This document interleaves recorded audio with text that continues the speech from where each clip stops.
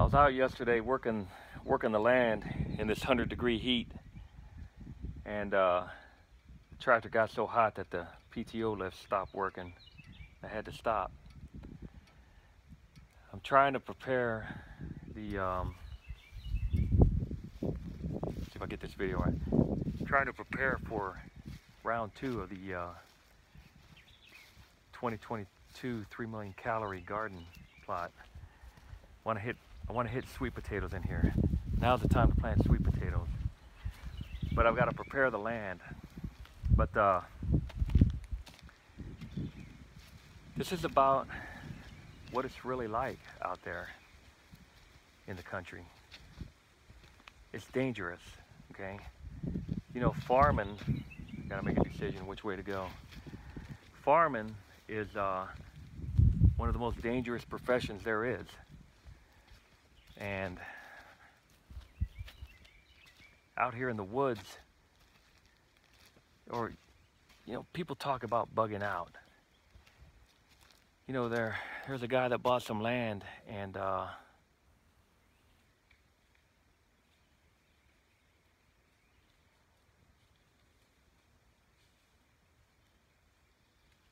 there's a guy that bought some land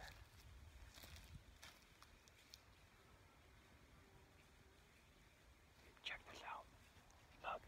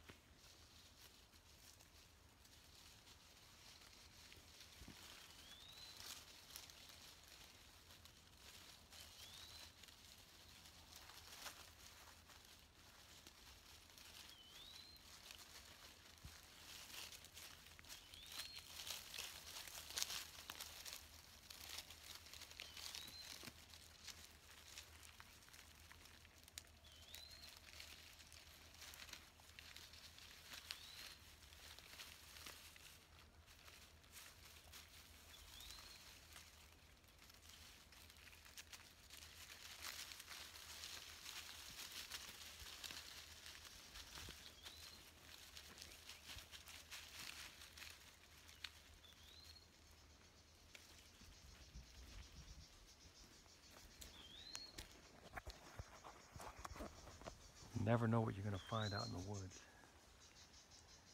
Like I'm trying to say to the average city guy that thinks they're going to be able to bug out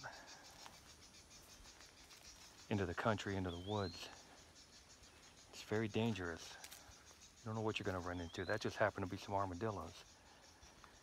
But look here. That's a snake hole.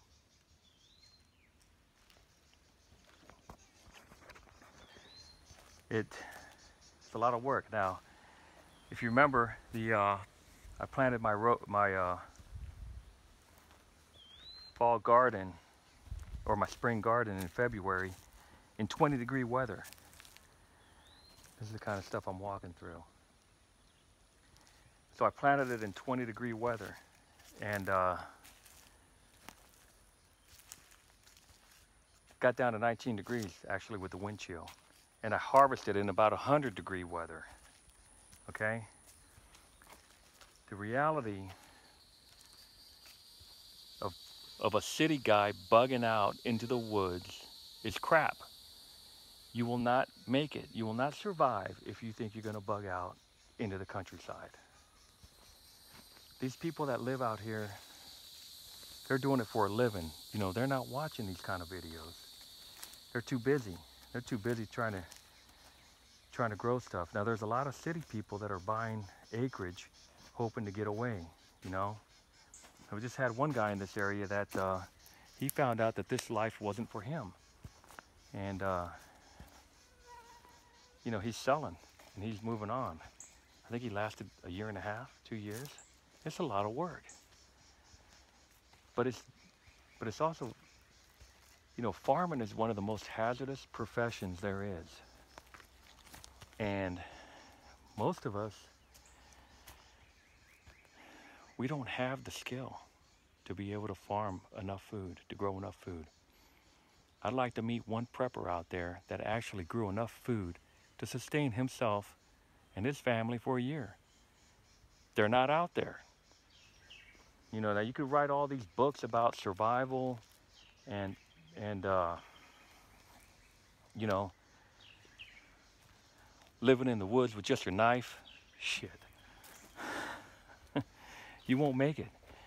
And the problem's not going to be another human.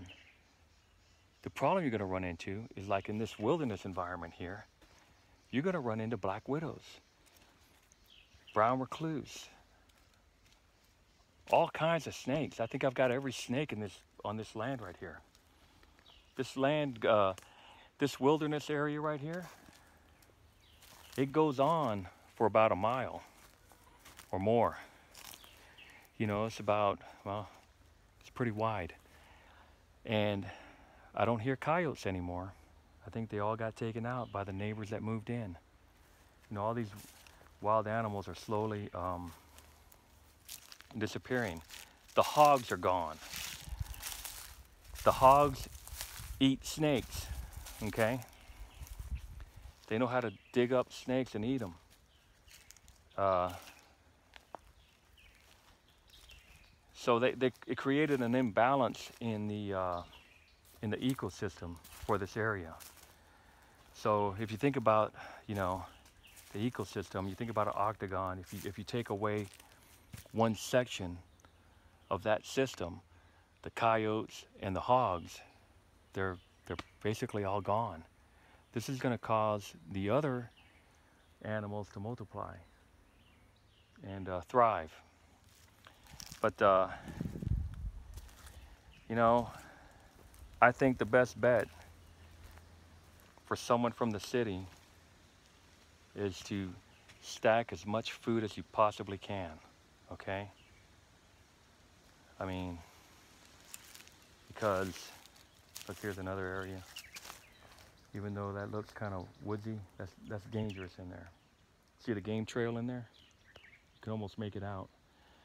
But, uh, yeah, it's dangerous. And I've got to, I've got to hit it home to y'all. Don't buy into the gimmicks. Don't buy the stupid knives, flashlights, and all that other crap. It ain't to help you. That kind of stuff is not going to help you. A city, if you know how to survive in the city, I couldn't really survive that good in the city, okay? I mean, I don't have, I have this, I have a little bit of street smarts, but I'm not an expert, okay? Now, someone from New York, they can make it. They know how to survive in, in that environment you know, the concrete jungle.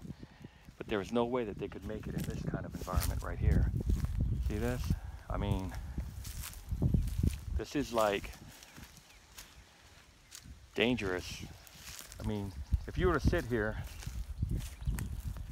and uh, like all the sounds and take them in, you could tell when something unusual is happening out here.